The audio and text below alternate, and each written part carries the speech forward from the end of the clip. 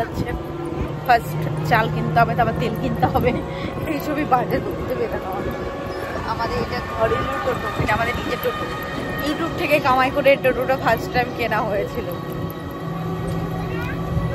রাস্তার আনতেই কিন্তু আর্ট করা আছে দু পাশের ওয়ালেই একদম আর্ট করা আছে। দিনের বেলা আসলে ভালো করে দেখাতে পারতাম।